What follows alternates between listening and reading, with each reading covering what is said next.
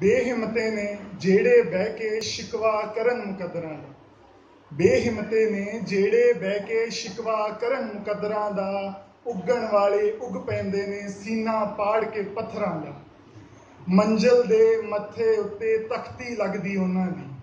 ਮੰਜ਼ਿਲ ਦੇ ਮੱਥੇ ਉੱਤੇ ਤਖਤੀ ਲੱਗਦੀ ਉਹਨਾਂ ਦੀ, ਜਿਹੜੇ ਘਰੋਂ ਬਣਾ ਕੇ ਤੁਰਦੇ ਨਕਸ਼ਾ ਆਪਣੇ ਸਫ਼ਰਾਂ ਦਾ। ਬਾਬਾ ਨਜ਼ਮੀ इनका नाम बशीर हुसैन था और ये सितंबर 1948 में पैदा हुए थे और इनके जो माता पिता थे वो सैंतालीस में भारत से पाकिस्तान चले गए थे और भारत में वो अमृतसर में रहते थे। अमृतसर के पास एक गाँव था जगदे हाशिम के। तो वो वहाँ से थे। और इनका सफ़र जब जब शुरू हुआ तो घर में बहुत मुफलिसी थी इनके। तो जैसे जैसे बड़े हुए इन्होंने कैसे तैसे मैट्रिक पास करी। तब तो मैट्रिक की भी बहुत आ, मैं बोलूँगी वैल्यू थी उस टाइम पे। तो इन्होंने मैट्रिक पास करी। उसके बाद ये किसी आ, मतलब एक जिसे मैं बोलूँ दिहाड़ीदार बोलते हैं हम पंजाबी में उसे कि किसी मजदूरी का काम करते थे कहीं पर ही। तो इनको किसी ने देखा कि हाँ इसमें थोड़ा एक इस आदमी में मेरे को क्रिएटिव एंगल दिख रहा है। तो बाय द वे ये मैं बता देना चाहता हूँ कि ये आदमी अभी तक ज़िंदा है उनकी आयु सत्तर साल से ऊपर है तो मतलब आप उनको अभी भी लाइव कहीं पे भी देख सकते हैं वो पाकिस्तान में। तो उनको पहले ये बोला गया कि हाँ एक आप छोटी सी क्लरिकल जॉब करोगे तो इन्होंने हामी भरी तो इनको बाद बाद में आपकी क्रिएटिविटी देखकर छः महीने इन्होंने पहले पहले इन्होंने क्लरिकल जॉब करी, उसके बाद ये साढ़े छः सात साल तक फ़िल्में बनाते रहे, पंजाबी, पाकिस्तान पंजाब। तो इन्होंने एज अ प्रोड्यूसर काम करा है, वो भी पिक्चर्स में, ये मैं इनका सफ़र बता रहा हूँ शायरी लिखने से पहले। तो बस जब इनसे किसी ने इंटरव्यू में पूछा कि, सर, आपको मतलब किसी को कीड़ा जगता है कहीं से कि आपको कहाँ से शुरुआत हुई? तो ये बताते हैं कि 12-15 साल की एज में कोई शायर था जो इनके घर में बहुत मतलब कोई दूर का रिश्तेदार था, उसको शायरी बहुत पसंद थी तो वो आते आते पढ़ता रहता था। तो कहीं ना कहीं वो उनका गुनगुनाना इनके कान में बैठ गया था और कहीं भी जाते थे तो वो आदमी जब भी पास होता था तो हाँ इनको लगता था कि हाँ मेरे को कुछ लिखना चाहिए। अठारह, बीस साल में इन्होंने जैसे हमें बोलते हैं कि रिलीजियस में कुछ लिखना सिखाते हैं। जैसे अगर मैं रामायण की बात करूँ तो हम श्लोक को थोड़ा सा समझने की कोशिश करते हैं कि हाँ कहाँ क्या गया। तो इन्होंने कसीदे लिखने शुरू करे।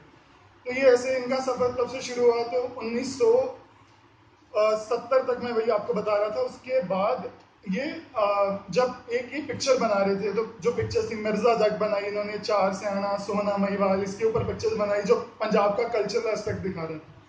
इसके बाद एक ऐसा दौर आया कि इनकी जो एक पिक्चर थी, वो नाकामयाब हो गई। जो इनका जितना इन्होंने सोचा था कि वो ग्रोथ करेगी, जितना इन्होंने इन्वेस्ट करा था, वो सारा बर्बाद हो गया। उसके बाद अब इनका जो कविता वाला जो जिसे मैं बोलता हूँ कि एंगल है यहाँ से शुरू होता है कि ये लाहौर से उजड़कर करा, कराची में चले गए। जब ही कराची में बसे तो वहाँ पर जो ज़्यादा शायर थे वो उर्दू डोमिनेंट शायरी चल रही थी। आपने हबीब जालिब का नाम सुना होगा।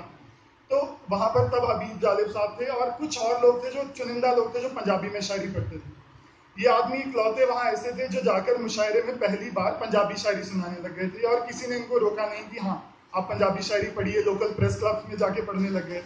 और इन्होंने जैसे लाहौर में बता रहे हैं कि लाहौर से जब कराची गए तो बहुत बहुत गरीब हो चुके थे। और फिर इन्होंने क्या काम किया कि, जिसे मैं बोलता हूँ कि पंक्चर लगाते हैं। बेसिकली किसी की गाड़ी धोना, किसी का पंक्चर लगाना, ये सब कुछ एक इतने ज़्यादा गरीबी के दौर से गुजरे। और उस वक्त जो मैंने आपको पहली दो लाइनें अभी पढ़ के सुनाई, पहला एक शेयर सुनाया कि जो बेहिमते ने जेड़े बह के शिकवा करन मुकदरा था इनका जो पहला शेर था इन्होंने ये कहा उस वक्त ये देखकर हालात की इतने बुरे हालात में कि आपको कभी भी ऐसी कोई आस या उम्मीद नहीं छोड़नी चाहिए। उसके बाद धीरे धीरे 1980 में इन्होंने अपनी लाइफ का पहला मुशायरा पढ़ा था वो भी पंजाबी मुशायरा। तो आ, ये उस वक्त ये चीज़ बताते हैं कि ये आदमी सड़क पे एक दिन की दिहाड़ी कर रहे हैं और इनके नाम के बड़े बड़े पोस्टर और फ्लेक्स छपके जा रहे हैं। तो लो, जो लोग इनके साथ काम कर रहे थे वो कह रहे थे कि हाँ आपको इतना पैसा मिल सकता है आप कहीं भी जाके शायरी पढ़ सकते हैं लेकिन अभी आप यहाँ मेरे साथ सड़क पे क्यों काम कर रहे हैं? तो उन्होंने ये चीज़ बताई कि मेरे को इस, जो पैंतीस साल का जो मैंने कराची में जितने मैंने टाइम बिताया है अभी तक उसने मेरे को ये सिखाया है कि अपना हक कैसे मांगते हैं और आप अगर आप थोड़े से भी फ़ेमस हो जाते हैं तो आप पैसे के लिए शायरी मत करिए। जिस चीज़ से मैं बहुत इन्फ्लुएंस हुआ था इनके लिए। कि ऐसा नहीं है कि कल को आपको कोई बुलाए कि हाँ मेरे को ये एक मेरी सीरीज़ रही है कि मुनवर राना साहब हो गए, इनको किसी ने बोला था, तभी उन्होंने वापस आके महाजिरनामा लिख दिया। इनको भी ऐसे बोला गया कि हाँ आपको इतने पैसे मिलते हैं, आप फिर भी एक मजदूरी करते हैं। तो इन्होंने आगे से ये जवाब दिया था कि हाँ मजदूरी करना और मजदूरों के हक में बोलना मेरा एक फ़र्ज़ है। और ये फिर ये ट्रेड यूनियंस के साथ बैठने लगे। ट्रेड यूनियन और जितने भी मतलब मैं बोलूँ कि उनके मुशायरे होते थे, उसमें पढ़ते थे। तो उन्होंने इसके लिए काफ़ी कुछ लिखा है, उसमें से मैं आपको कुछ पढ़ के सुनाता हूँ, जो उन्होंने ट्रेड यूनियंस के लिए लिखा था कि, और बहुत क्लियर कट मैसेज ऐसे नहीं कि हुकूमत से डरने वाला शायर है फिर सभी आदमी की नहीं, मैं डर गया तो वो ऐसा नहीं लिखते थे, वो ऐसे लिखते थे कि, जिस धरती ते रजवा टुक्कर खांदे नहीं मजदूर, जिस धरती ते रजवा टुक्कर खांदे नहीं मजदूर, उस धरती दे हाकम कुत्ते उस दे हाकम सूर मतलब एक बिल्कुल डायरेक्ट पिन पॉइंट है, ऐसा नहीं है कि कुछ घुमा फिरा के लिखा गया है। मेरे वांगू चार दिहाड़े पट्टी कोल खलो। पट्टी जिसको आप बेकरी बोलते होगी मेरे वांगू चार दिहाड़े पट्टी कोल खलो, मुल्ला फिर विखानी मैनू अपने चेहरे दानी तो वो जितने भी एस्पेक्ट ऐसे हैं कि हाँ आप एक सुपीरियरिटी कॉम्प्लेक्स लेके आना चाहते हो तो इसके बहुत ही ज़्यादा खिलाफ थे कि मैं इस चीज़ को कभी भी आगे नहीं आने दूँगा। सेकंड वो बोलने की मेरे हाथ मेरे हथी छाले पहने मजदूरी नाल।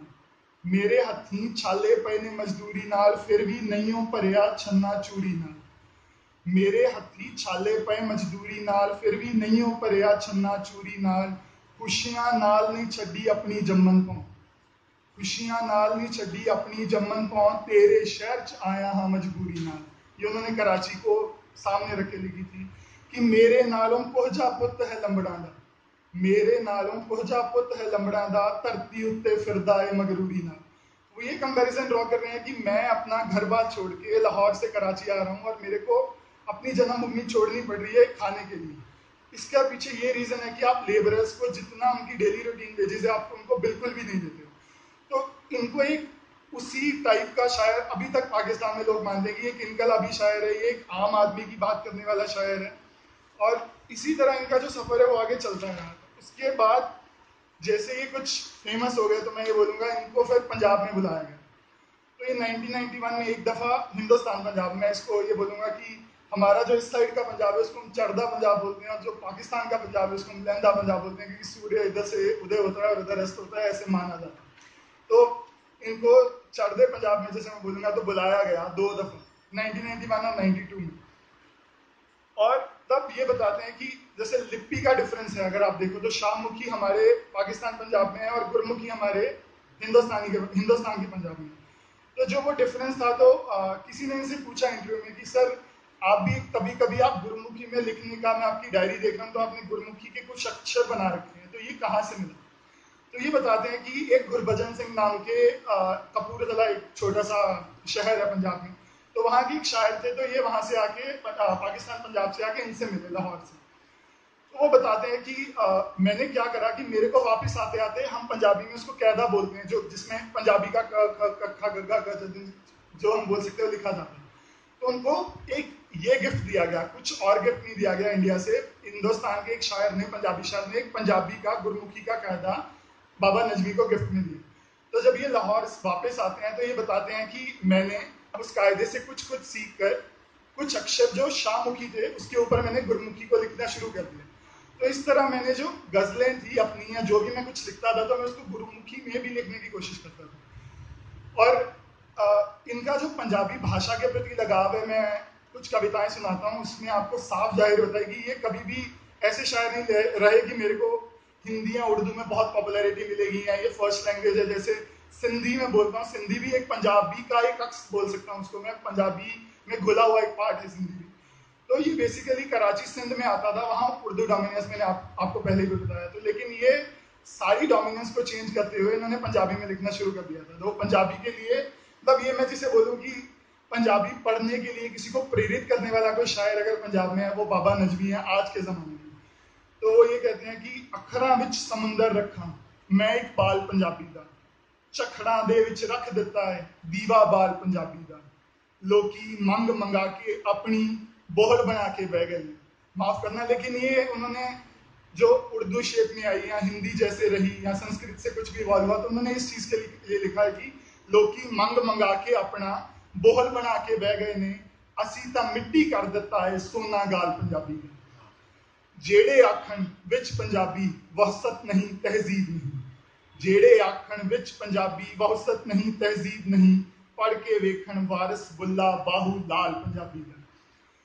ਮਨ ਦਾ ਮਾਸ ਖਵਾ ਦਿੰਦਾ ਏ ਜਿਹੜਾ ਇਹਨੂੰ ਪਿਆਰ ਕਰੇ ਮਨ ਦਾ ਮਾਸ ਖਵਾ ਦਿੰਦਾ ਏ ਜਿਹੜਾ ਇਹਨੂੰ ਪਿਆਰ करे कोई भी जबरन कर नहीं सकता विंगावाल पंजाबी तो इन्होंने पंजाबी के ऊपर ये पूरी आ, मैं बोलूंगा गजल कही उसके बाद ये सेकंड चीज में इसमें आते हैं कि आ, पंजाब में एक बार ऐसा वाक्य हुआ था कि आ, एक सुरजीत पात्र है पंजाब के बहुत फेमस कवि तो बोलते हैं कि मैंने ये भारत की पहली ऐसी स्टेट देखी है कि जिसमें आपको अपनी रीजनल लैंग्वेज बोलने पे जुर्माना लगता है, क्योंकि पंजाब के कुछ स्कूल्स ऐसे हो गए थे either you need to talk in Hindi या इंग्लिश आप पंजाबी में बात नहीं कर सकते हैं। अगर पंजाबी में बात करेंगे तो इट बी फाइन तो वो इस चीज़ को आगे रखते हुए कहते हैं सुदीप पादर की, मैंने ऐसी एक धरती को देखा है जहाँ अपनी माँ बोली बोलने पर बच्चों को जुर्माना लगता है। तो वो इस चीज़ को कार करते हुए बाबा नजमी ये लिखते हैं कि, वारिस बुल्ले वर्गे बैठे हंस विसार पंजाबी में।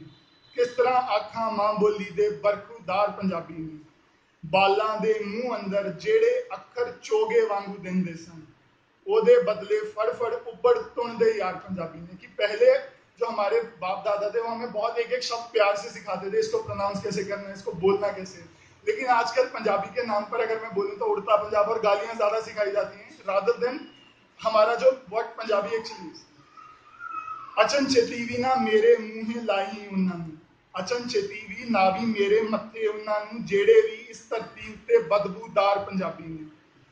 ਉਧਰ ਉਧਰ ਕਰਨ ਸਲਾਮਾ ਦਿਲ ਨੂੰ ਦੁਨੀਆ ਕਹਿੰਦੀ ਉਧਰ ਉਧਰ ਕਰਨ ਸਲਾਮਾ ਜਿੱਧਰ ਦੁਨੀਆ ਕਹਿੰਦੀ ਹੈ ਜਿੱਧਰ ਜਿੱਧਰ ਜਾਂਦੇ ਮੇਰੇ ਬਾਕਿਰਦਾਰ ਪੰਜਾਬੀ ਨੇ।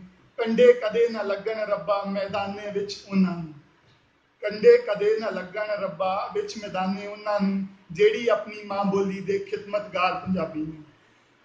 ਖਵਾਜਾ ਫਰੀਦ ਮੁਹੰਮਦ ਵਾਰਿਸ ਨਾਨਕ ਬੁੱਲਾ ਬਾਹੂ ਲਾਲ ਇਹ ਪੰਜਾਬੀ ਉੱਚੇ ਸੁੱਚੇ ਇਹੀ ਸਰਦਾਰ ਪੰਜਾਬੀ ਨੇ अपनी बोलन ये बहुत अच्छी लाइन है जो मेरी पसंदीदा लाइन है बाबा नजमी की की अपनी बोली बोलन वेले सा जिन्ना दा कुटदा ये एक बहुत ज्यादा कल्चर फैला हुआ है कि मैं यहाँ की भी बात करूंगा कि अगर कोई कनाडा में बात करे हमें बहुत कॉम्प्लेक्स फील होता है ठीक है मतलब वो आपस में दो लोग बात कर रहे हैं हम उससे परेशान हो जाते हैं लेकिन कभी आपने इस चीज को अपने एंगल से सोचो कि हम जब बहुत फ्लुएंट बिहार मतलब बिहार की जो भाषा है या पंजाब की जो भाषा है हरियाणवी में, जो भी हम लोग बात कर रहे हैं, उसमें उस आदमी को कुछ समझ आ रहा है, नहीं आ रहा, वो आप उसको उस पर्सपेक्टिव से भी देखते तो उन्होंने इस चीज़ के लिए देखा था कि अपनी बोली बोलन वेले सा जिन्ना दा कुटदा है। बाबा नजमी दे दे फतवा, ओ गद्दार पंजाबी। मतलब अगर आप अपनी भाषा को बोलने के लिए आप शर्म महसूस करते हैं तो आपको इससे अच्छा इससे बेहतर है कि आपको मर जाना चाहिए। तो ये चीज़ उन्होंने लिखी थी।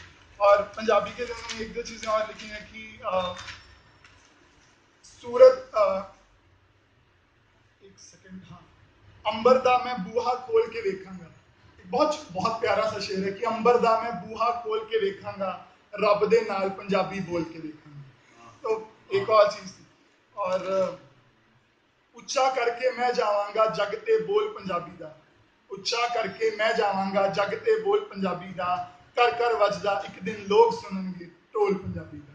कर कर सुनेंगे लोग एक टोल पंजाबी तो हबीब जादेव साहब की बात कर रहा था तो इनकी आ, इनकी तीन किताबें अभी तक पब्लिश हुई हैं जो थी एक तो अखा समंदर सोचा विच सहान थे मेरा नाम इंसान। ये मेरे लिए खुद एक छोटी सी नज्म बन गई थी। इनके तीनों जो नाम है वो भी इस तरह इस तरह के थे कि अखरा विच समंदर सोचा विच जहान मेरा नाम इंसान।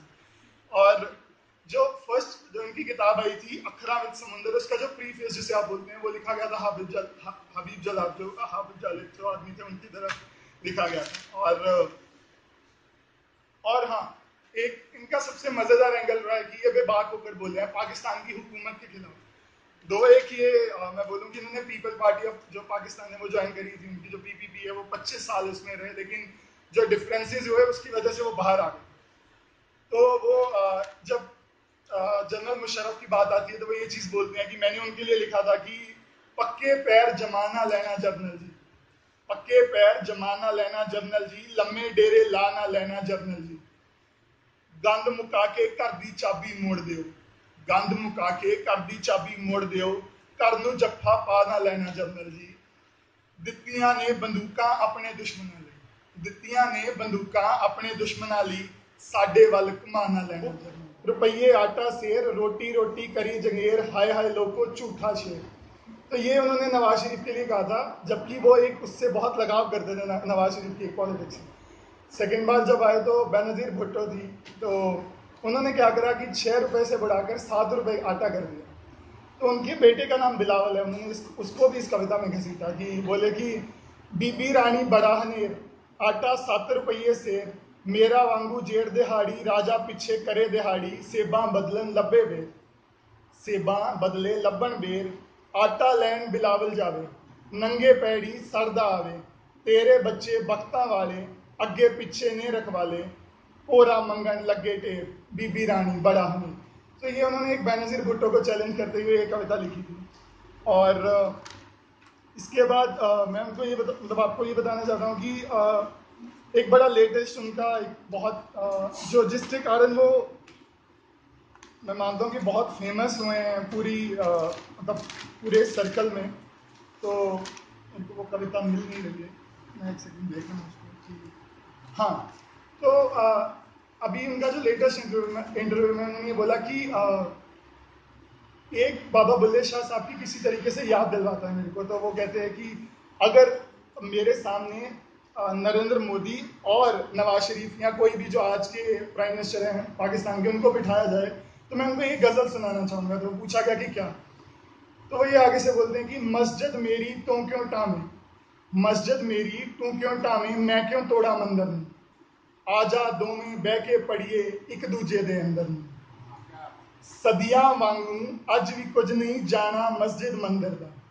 ਸਦੀਆਂ ਵਾਂਗੂ ਅੱਜ ਵੀ ਕੁਝ ਨਹੀਂ ਜਾਣਾ ਮਸਜਿਦ ਮੰਦਰ ਦਾ ਲਹੂ ਤੇ ਤੇਰਾ ਮੇਰਾ ਲੱਗਣਾ ਤੇਰੇ ਮੇਰੇ ਖੰਜਰ ਨੂੰ ਰੱਬ ਕਰੇ ਤੂੰ ਮੰਦਰ ਵਾਂਗੂ ਵੇਖੇ ਮੇਰੀ ਮਸਜਿਦ ਨੂੰ ਰੱਬ ਕਰੇ ਤੂੰ ਮੰਦਰ ਵਾਂਗੂ ਵੇਖੇ ਮੇਰੀ ਮਸਜਿਦ ਨੂੰ ਰਾਮ ਕਰੇ ਮੈਂ ਮਸਜਿਦ ਵਾਂਗੂ ਵੇਖਾਂ ਤੇਰੇ ਮੰਦਰ ਨੂੰ ਡੁੱਬੇ ਵਿੱਚ ਸਮੁੰਦਰ ਬੇੜੇ ਸਾਤੋਂ ਹੱਲੇ ਨਿਕਲੇ ਨਹੀਂ ਡੁੱਬੇ ਵਿੱਚ ਸਮੁੰਦਰ ਬੇੜੇ ਸਾਤੋਂ ਹਲੇ ਨਿਕਲੇ ਨਹੀਂ ਵੇਖੋ ਢੋਲ ਵਜਾ ਕੇ ਚੱਲੇ ਫੋਲਣ ਉਹਦੇ ਅੰਬਰ ਨੂੰ ਕਦੇ ਕਦੇ ਤਾਂ ਇਹੋ ਜਿਹੀ ਵੀ ਹਰਕਤ ਬੰਦਾ ਕਰਦਾ ਹੈ ਕਦੇ ਕਦੇ ਤਾਂ ਇਹੋ ਜਿਹੀ ਵੀ ਹਰਕਤ ਬੰਦਾ ਕਰਦਾ ਹੈ ਆਪਣਾ ਮੂੰਹ ਲੁਕਾਉਣਾ ਔਖਾ ਹੋ ਜਾਂਦਾ ਹੈ ਡੰਗਰ ਨੂੰ ਅਸਾਂ ਨਹੀਂ ਆਉਣਾ ਬਾਬਾ ਤੇਰੇ ਮੁੜ ਕੇ ਮੇਲਾ ਵੇਖਣ ਲਈ ਅਸੀਂ ਨਹੀਂ ਬਾਬਾ ਆਉਣਾ ਮੁੜ ਕੇ ਮੇਲਾ ਵੇਖਣ ਲਈ ਸ਼ਕਲਾਂ ਵੇਖ ਕੇ ਦਿੰਦੇ ਨੇ ਵਰਤਾਵੇ ਤੇਰੇ ਲੰਗਰ ਨੂੰ तो ये एंड में ये बोल रहे हैं कि कई बार ये भी होता है अगर आप आ, मैं ऐसे नहीं कोट करूँगा किसी भी रिलीजियस जगह पर जाते हैं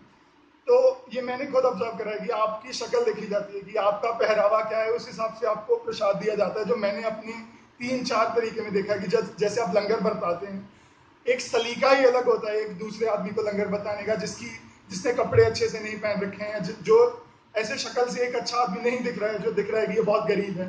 तो उसको बहुत बुरे तर, बेतरतीब तरीके से लंगर बांटा जाता है और इसके खिलाफ भी उन्होंने ये जो लाश शेयर कर और